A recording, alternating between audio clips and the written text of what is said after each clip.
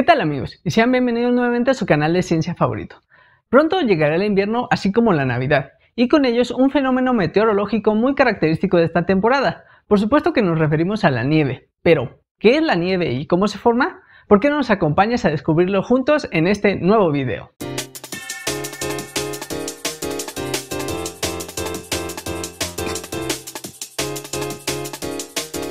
La nieve puede ser definida como la precipitación sólida del vapor de agua que se encuentra en la atmósfera terrestre. Sí, puede que suene un poco complejo la primera vez que lo escuches, pero podríamos decir que es como la lluvia, simplemente que la nieve es agua en estado sólido. Pero, ¿qué les parece si revisamos paso a paso cómo es que se forma la nieve?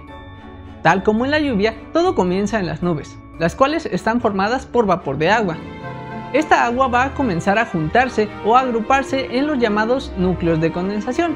Sin embargo, si la temperatura atmosférica es menor a los 2 grados centígrados, el agua comenzará a cristalizarse y estos cristales van a chocar unos contra otros generando los asombrosos y únicos copos de nieve. Estos copos van a caer a la Tierra cuando tengan el peso suficiente y obvio con ayuda de la gravedad. Y es entonces que nosotros podemos apreciar las asombrosas nevadas. Tal como te diste cuenta, el proceso para que se pueda formar la nieve es muy parecido al de la lluvia. Sin embargo, existen ciertos factores que son muy importantes para que se pueda llevar a cabo.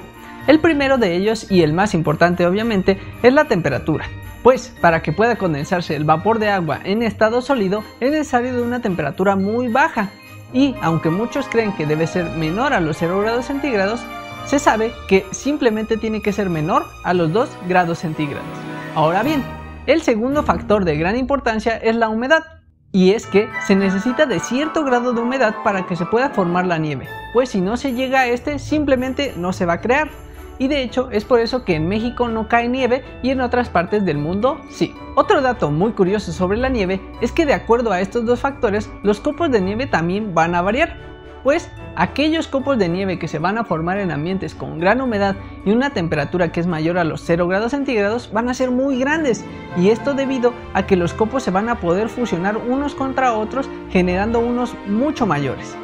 Mientras que aquellos que son formados en ambientes secos, es decir, de baja humedad y además con una temperatura menor a los 0 grados centígrados, van a ser muy pequeños y duros debido a que no van a poder fusionarse unos contra otros. Simplemente asombroso. Lo más seguro es que alguna vez hayas escuchado que ningún copo de nieve es igual a otro, y esto es verdad. Todos los copos de nieve son únicos debido al proceso de su formación, y esto fue descubierto por el fotógrafo Wilson A. Bentley, el cual dedicó una gran parte de su vida al estudio de los copos de nieve. Él nació en Vermont en el año de 1865 y es uno de los pioneros de la microfotografía, pues para poder estudiar los copos de nieve, este los tomaba de las nevadas y los colocaba en su microscopio, el cual estaba adaptado con una cámara para poder tomar así las primeras fotografías de copos de nieve de la historia. De hecho, su primer fotografía sobre un copo de nieve fue en el año de 1885 y esta se encuentra en la colección del Smithsoniano. De hecho, Bentley revisó más de 5.000 copos de nieve desde 1885 hasta el final de su vida, publicando múltiples artículos, por lo que era llamado Wilson Copo de Nieve Bentley. Algo muy interesante sobre la nieve y sus copos es que su composición es mayormente de aire, por lo que es un gran aislante térmico. Y de hecho, esta es una de las razones por la que los iglúes mantienen la temperatura dentro de ellos aun cuando en el exterior hace bastante frío. Además de lo anterior, la nieve es muy reflectiva, por lo que ocupa un gran rol en la regulación de la temperatura del planeta, pues permite reflejar una gran parte de la radiación solar al espacio.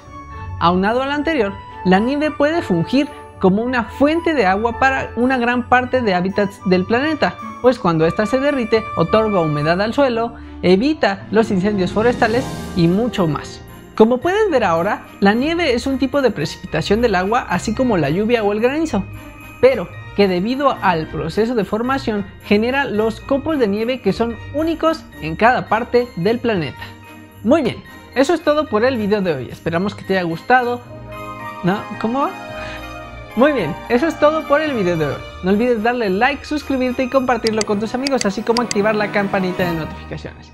Y recuerda que si algo te interesa o te genera dudas, no lo pienses dos veces y sugiere el tema en los comentarios, para que juntos entendamos la ciencia del mundo que nos rodea.